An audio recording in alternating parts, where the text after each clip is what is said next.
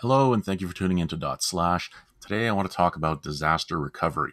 Now, whether you have updated your system, changed some partitions around, uh, did some tinkering around, and whatever, you reboot your system and you end up at the Grub rescue screen, or maybe even your BIOS pops up saying, Hey, I don't know what to boot.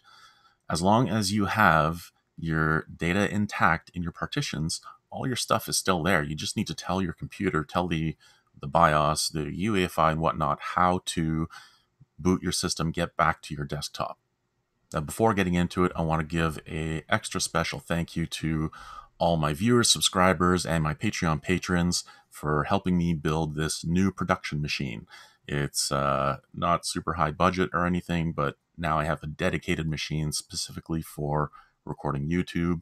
It's a Ryzen 5 with 16 gigs of RAM and an SSD is working really great so far now that I finally have it all set up and running great.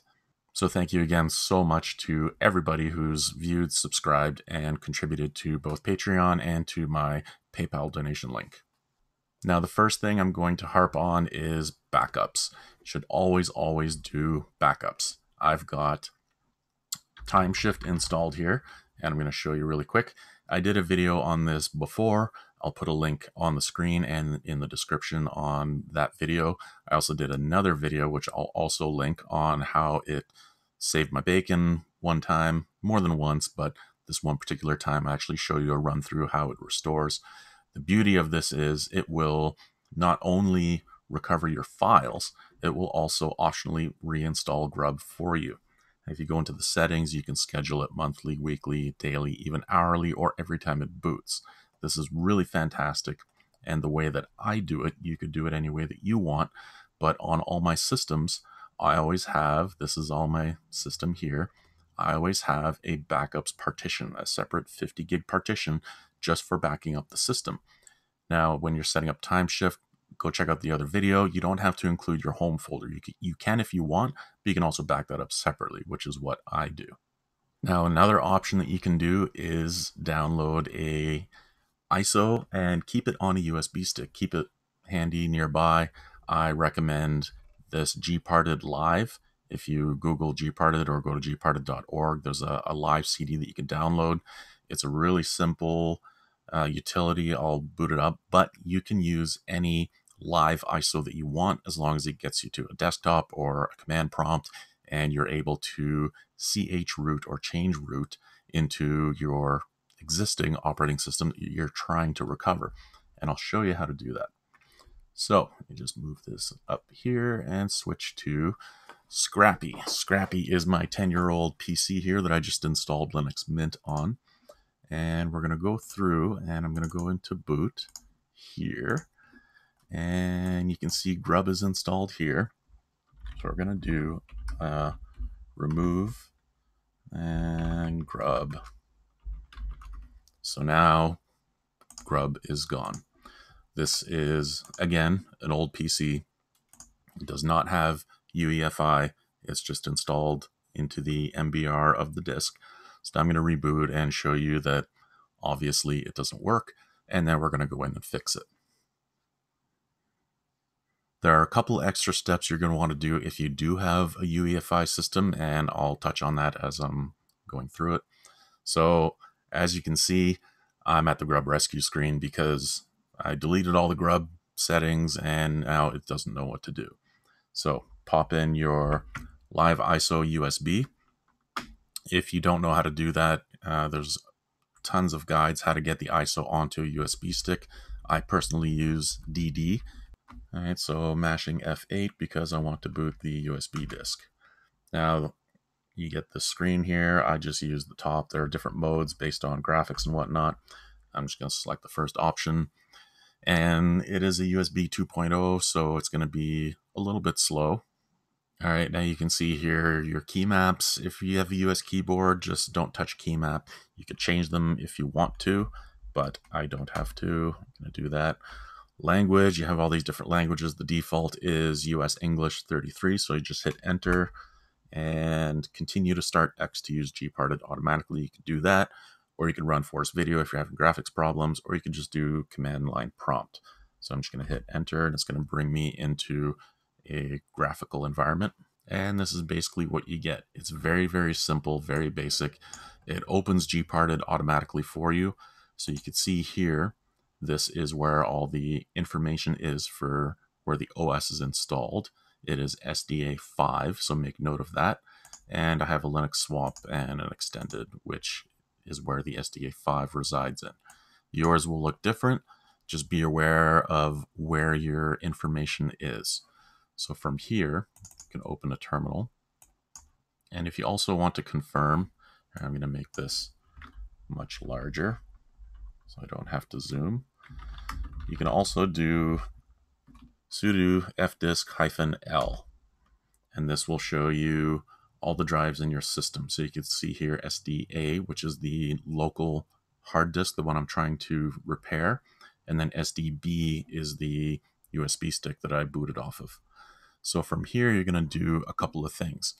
You need to mount your your various folders, your devices and your proc folder and your sys folder into the system that you're chrooting into.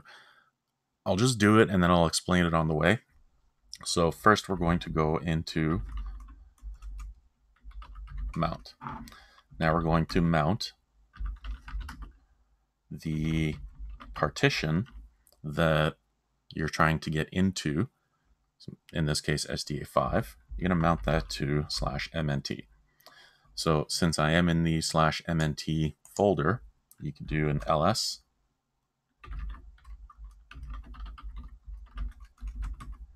ls. There you go. I had to go out and in. Doesn't matter. I should have done that last. So now you can see all your files are still here. So your home folder's there. All your files are there. Now, if you also have a UEFI partition, you're going to want to mount that as well. So you could just hit up and you can redo it. If your UEFI boot partition is SDA1, then you're going to do that, mount boot, and possibly EFI. If you're not sure, you could just put slash boot, and when we install grub, it'll install it properly. So do that. So next, you're going to mount bind proc to mount proc. These are all your processes. Uh, if you've watched my video on the Linux file system explained, everything in Linux is a file. And when you're running an environment, it needs to access these processes, it needs to access the devices and whatnot. So this is what we're doing here. So we're basically taking the proc from the gparted environment and we're going to mount it into the environment that we're going to change root into.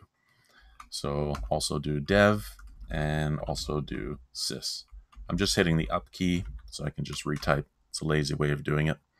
So what you can also do is if you want internet connection, you do etc resolv.conf to mount etc resolv.conf. That will copy your settings in when you chroot into it, you're going to have internet access. Unfortunately, I've run out of Ethernet ports available, so this computer that you're looking at here isn't actually connected to the internet, but this is what you're going to do. So once you're done that, you're going to sudo chroot, change root into mount. Bin bash is your shell. And there you go. So now I'm essentially in the Linux Mint system. My devices and my processes, the system, they're, they're all uh, mounted inside. So everything's going to work as it should. And from here, I can just do a sudo grub install slash dev SDA. Remember, this is BIOS. If you're doing UEFI or if this is a, an Arch install or anything, you're going to have to look and see how how it's installed.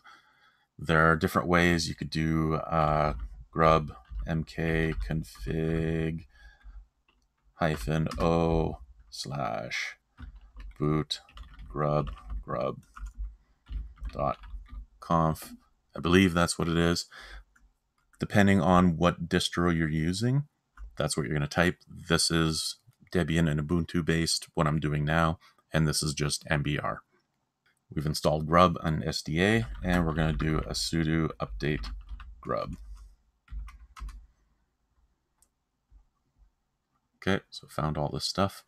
Uh, failed to connect to lvmetad. Don't worry about that. I don't have LVM on my system. This error, you can ignore it if you're getting it. If you're using um, LVM partitions, there's a bit more to it, but this is just for ext4 partitions. Everything's done, generated the config file, it found our stuff.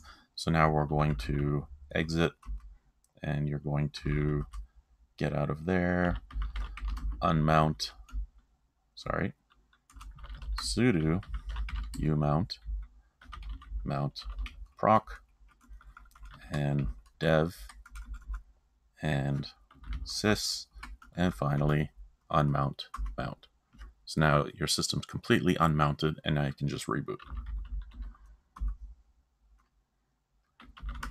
You can sudo reboot. All right.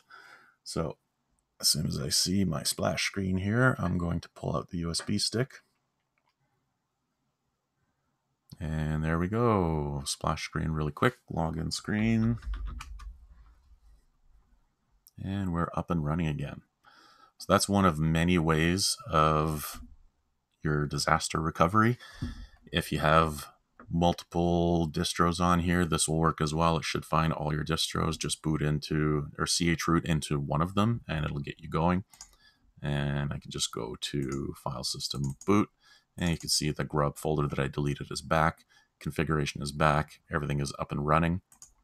So that's not too bad.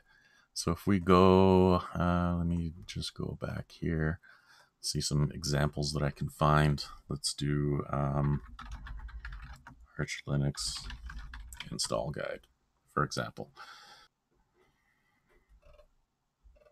Okay, so if we scroll down, bootloader, bootloader,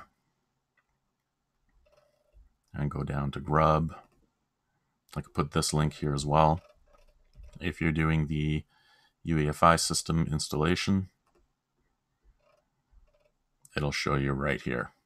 Grub install target EFI directory bootloader ID equals grub. So different way of doing it. And you're also going to have to run the grub mkconfig o oh, boot grub, what I was typing earlier. So depending on the distro, you're just gonna have to do something slightly different. And if it's UEFI, make sure you mount your UEFI partition while you're mounting all the other stuff before you see it rooted in. And once you reinstall Grub, hopefully you end up with a working system. Now, if you have additional issues like drivers and whatnot, basically you're going to want to do one of two things. Let me just reboot once again and see if I can get the grub screen to come up. If your grub screen comes up automatically. It's easy. If it doesn't, well, then you might have issues. All right, so by mashing the left shift key, you'll end up at the grub menu. If you hit E, you can edit. So if we scroll down here, what you're looking for is this line here. It's usually uh, easy to spot because it says quiet splash and VT handoff. But if you see quiet or splash, this is the line that you want. Say at the end here, you can add a 3 and then hit F10 to boot. So this will make sure you're not booting into your graphical environment. It's going to drop you down to a console. So you can see here, I can log in and I can do stuff here in the console. Now, if you're still having issues getting here, if you change that number to a 1, I'll show you here, it could be graphics issues, it could be more in-depth hardware issues. Let me just mash the button, mashing the shift key. I know you can hold the shift key, but for some reason it doesn't always work.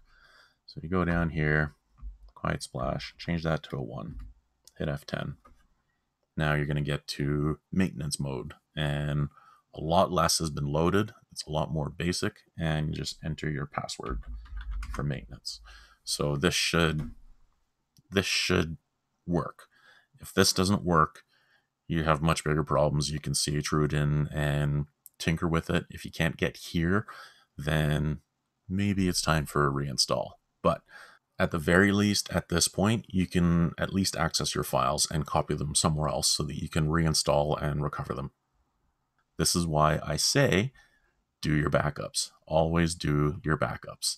If you do your backups, especially with Timeshift, do any of this. If you look at the video, you can see how you can boot from a USB stick and still restore with Timeshift. That video that I linked earlier on Timeshift.